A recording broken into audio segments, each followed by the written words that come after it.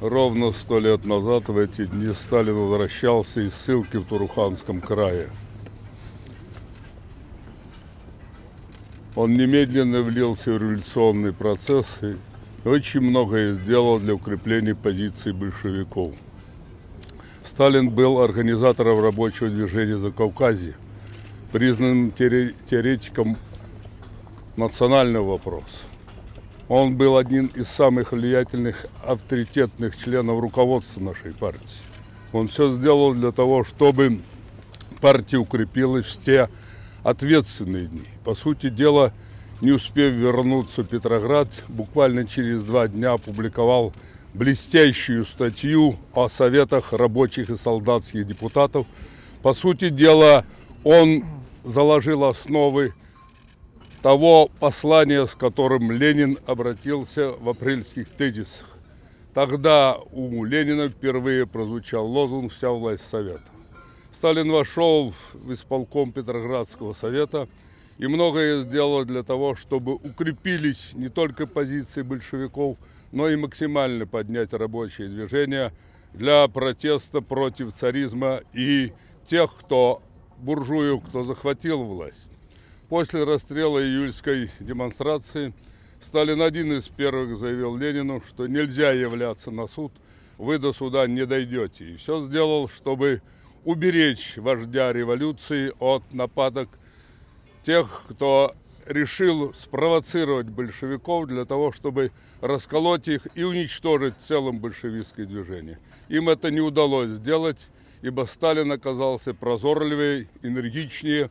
Он провел очень эффективные переговоры и с меньшевиками, и социал-демократами, которые пытались спровоцировать большевиков на преждевременные выступления. Вся подготовка Октябрьского вооруженного восстания во многом ложилась на Ленина и Сталина, и они справились с этой задачей блестяще. Я должен сказать, что Временное правительство, которое пришло к власти – после дворцового переворота оказалось совершенно беспомощным и неэффективным. Сменилось несколько составов. Фактически это были в основном масоны, которые разваливали Российскую империю, деля ее по национальному вопросу и уничтожая остатки боеспособной армии. Они парализовали фронт, продолжая войну за совершенно корыстные интересы буржуев Лондона, Нью-Йорка и Парижа. Мы считаем, что роль Сталина в истории нашей страны вообще уникальна. После октября он возглавил партию, все сделал для того, чтобы ленинский план построения социализма был реализован. Буквально в считанные годы они прошли путь от военного коммунизма через продразверстку, продналог к НЭПу, и полумертвая страна на глазах стала подниматься к высотам прогресса. Сталин реализовал план, ленинский план Гойлром и НЭП, и затем пришел к выводу, что крайне необходима стране новая индустриализация, коллективизация и культурная революция. Вдумайтесь, за 20 лет правления Иосифа Виссарионовича Сталина страна увеличила потенциал в 70 раз – Средние темпы развития экономики страны составили 16 с лишним процентов. Ничего подобного история не знала и не знает. Ленинско-сталинская модернизация и Октябрьская революция спасли российскую державу. Она возродилась в новой форме, форме Советского союзного государства. Впервые в истории человечества была поставлена задача возродить страну не на основе войны, насилия и национализма, а на основе труда, справедливости и дружбы народов. Впервые в истории главным лозунгом стал не человек, человеку волк, и война как способ разрешения противоречий, а человек человеку товарищ и друг. И в опоре на тружеников возрождалась страна, превращаясь в великую супердержаву. Я не устаю повторять, все негодяи, вся сволочь мира – ненавидит Ленина и Сталина прежде всего за то, что распавшую, сгоревшую Первой мировой войне империю они сумели собрать в новой форме, форме Советского союзного социалистического государства. Не на фронтах войны собрали, на съезде депутатов, где представители Советов и депутатов прибыли со всех республик. и распавшаяся империя, как птица Феникс, возродилась в новом качестве. Мало того, возродилась, она сумела доказать, что труд гораздо производительнее капитала, что справедливость гораздо эффективнее наживы и хищничества. Они сумели доказать, что страна Советов является примером для всех народов, которые освобождались от колониализма. Надо иметь в виду, что октябрь спас нашу страну и от Корниловщины, и от Деникинщины, и от Колчаковщины. Октябрь сумел противопоставить тому походу буржуазии, которая договорилась с иностранными послами установить военно-полицейскую диктатуру в лице генерала Корнилова, тем самым предотвратили страну от фашизма, что случилось в Германии, где социал-демократия левой потерпел поражение, Гитлер потом пробрался к власти и, по сути дела, поджег Вторую мировую войну, став жарить себе подобных в концлагерях и газовых печах. Для нас сегодня опыт Сталина и ленинско-сталинской модернизации исключительно актуален. Я хочу, чтобы вы всмотрелись в события 17 года февраля и 91 года в нашей стране. Ведь, по сути дела, в 91 году реванш взял, реванш взяли февралисты, которые предали советскую власть, предали труд, предали своих союзников и друзей. Также таким же образом они стали делить на куски страну и распускать ее так же, как это делало Временное правительство. Точно таким же образом они обслуживали иностранные интересы, точно так же, как те опирались на капиталы заокеанские, американские, английские, французские. Эти типа Ельцины ездили, докладывали господам Бушам о том, что они презрели референдум нашей страны, где люди, где граждане СССР высказали желание жить в едином Отечестве, точно так же они проводили воровскую приватизацию под диктовку ЦРУшников, распродав богатство страны, которое она складывала за тысячу лет, меньше трех процентов реальной стоимости. Точно так же позорили армию, уничтожали специальные службы, точно таким же образом ликвидировали то, без чего не существуют эти гигантские просторы и нашей государственности. Я еще раз хочу всем заявить, особенно молодым, что самым гениальным изобретением русского народа была сильная централизованная держава. Но она стоит на четырех столпах. Прежде всего, это сильной государственности. Государственность может быть сильной, если она опирается на трудовой народ, а не на кошельки тех, кто наворовал и не знает, как спрятать, поскорее спрятать свои капиталы за кордоном. Она опирается на высокую духовность. Мы наследники великих литераторов, композиторов, художников. Эта государственность опирается на справедливость, без которой не существует единство народов, и на дружбу этих народов. В этом отношении советская государственность являлась за тысячу лет вершиной достижений.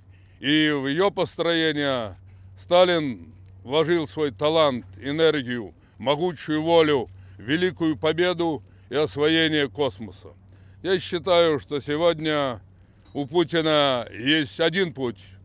Это проведение левоцентристской политики в интересах всех граждан страны. Сегодня намечается новый тройственный союз в лице антинациональной олигархии, которая не хочет развивать свое производство и прячет э, деньги за кордоном. В лице антисоветской Жириновщины, которая, как и в ту пору, проявляется прежде всего во власовщине, в предательстве всего светлого и советского, что было в истории нашего народа. Она опирается на либеральный фашизм, которому не нужна единая централизованная страна и которая готова делить ее и по Уральскому хребту, готова предавать, продавать и унижать русский государствообразующий народ.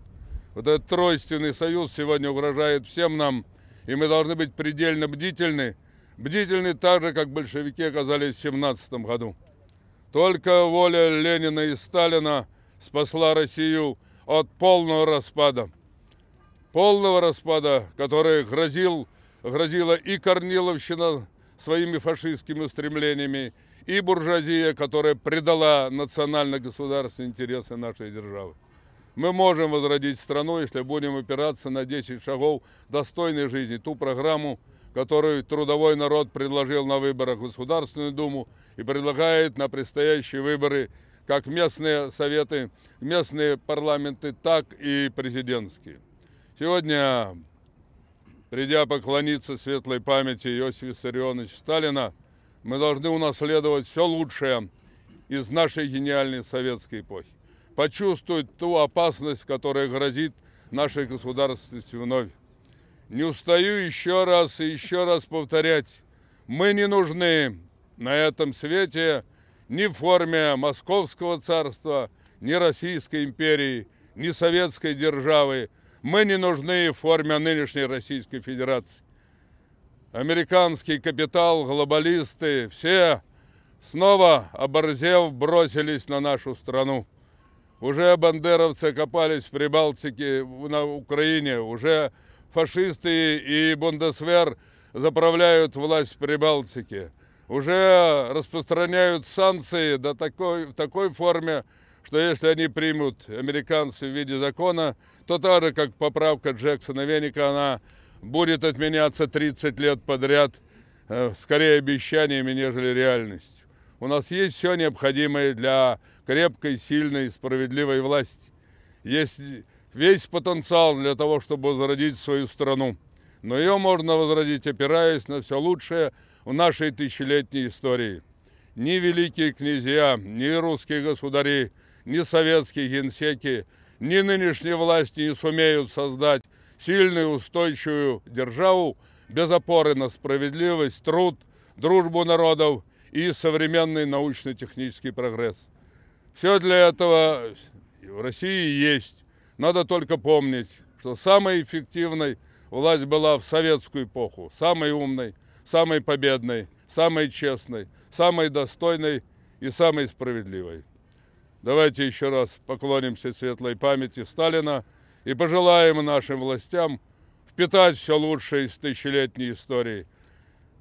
Тот путь, который выбрало нынешнее либеральное правительство, оно повторяет путь февраля. Кроме постепенной деградации, ничего нет. За последние пять лет ВВП сократился на 8% недополучили почти 100 триллионов рублей или 40 триллионов бюджета. Три потеряли годовых бюджета. И сегодня все вокруг, крутится вокруг нуля или одного процента. На этом пути выхода нет. Выход есть, если обопремся на то, что показала Великая Советская эпоха, на уникальный опыт ленинско-сталинской модернизации – который во многом повторил Китай реформ Дэн Сяопина. Китай сегодня является ведущей державой, которая демонстрирует миру, как можно, опираясь на марксизм-ленизм, на уникальный советский опыт, на построение социализма с китайской спецификой, э, прорваться к высотам прогресса и к новым космическим программам. Давайте пожелаем молодежи, чтобы она поглубже и обстоятельнее изучала наш уникальный опыт. Позавчера в «Правде» опубликован большой разворот от буржуазного февраля к социалистическому спасению. Я советую вам очень внимательно почитать этот материал и в наших газетах, и на сайте. Это будет исключительно полезно.